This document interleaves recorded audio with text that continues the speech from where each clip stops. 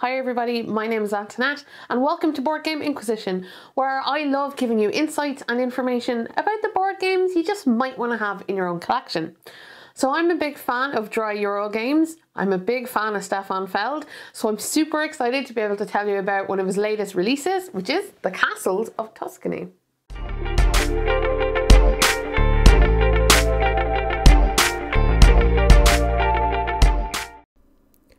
Castles of Tuscany sets you up as a prince building up your region.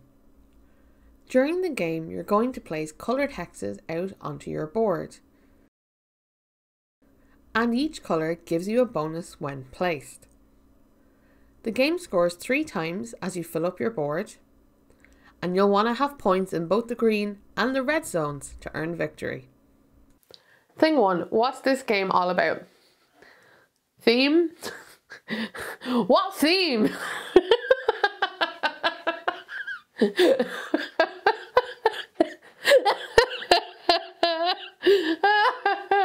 oh, theme. Yeah, yeah, no theme to be found here. Sure, the rulebook mentions something about princes and provinces, but it's a completely irrelevant topic to be fair. This is a game about placing hexes. Um, now, do I do I miss the theme? Um, not particularly. The, this game feels a little bit like an abstract strategy game. So I didn't miss the fact there wasn't a story or a setting or, or really anything other than mechanics. Um, now, similar games to this, well, it has to be compared to the Castles of Burgundy that does similar kinds of things. But oddly enough, it also reminded me of the games in the Mask trilogy set, which are Tikal, Java, and Mexica. Um, that tactile nature kind of, I don't know, reminded me of those. Um, and also the fact that you have a board with the number of actions you're allowed to complete on it. So I think there's some similarities to be had there. Thing two, mechanics. So the Castles of Tuscany is a tile laying game or a hex laying game and it's one in which you're going to place these coloured hexes um, together or in different zones um, to achieve different bonuses. Um, and how you place these hexes is that you have a handful of cards, the colours of which will match these tiles. And you need to have two of the same cards of the same colour of the tile you want to place to be able to place it.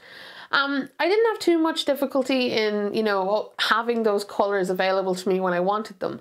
Um, there is also the option where you can trade two of any colour card to become one of another card and this is really, really helpful as well. Now, the when you draft the tiles, however, um, that's less adaptive.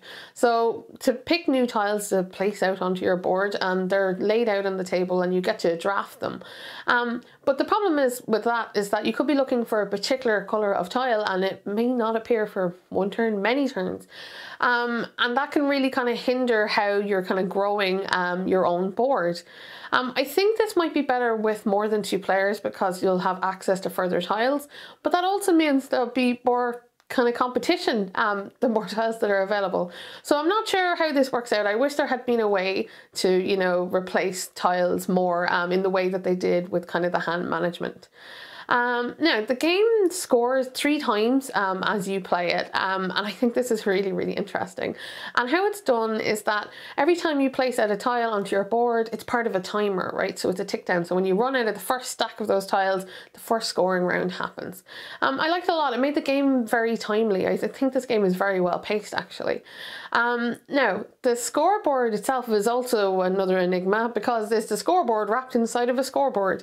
Um, so as you've probably seen in the pictures, the scoreboard is circular, so the outer ring is red, the inner ring is green. And how it works is that any points you get on the green um, track are added to the points on the red track.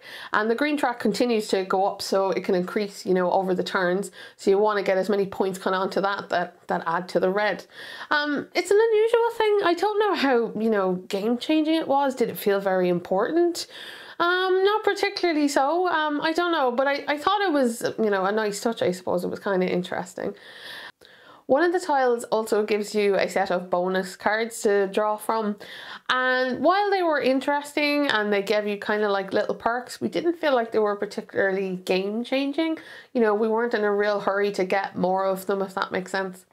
Um, overall, this game is very simple. Um, it's very easy to pick up and to learn. And there's something kind of elegant in its simplicity. However, I'm just not sure how compelling it is to play. Thing three on the table. I think the colours used in the Castles of Tuscany really help it pop when it's set up on the table. What I'm not a fan of, however, is how disparate all of the different game pieces are.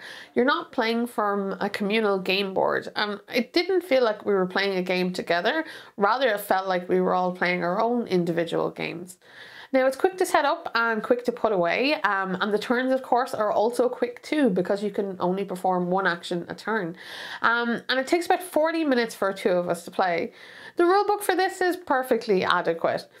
Now, replayability wise, um, this is a tough one because I've played it three times now, um, and yes, the game is quite similar every time you play, but I'm almost treating this like an abstract strategy game where you do expect, you know, things to follow a particular pattern.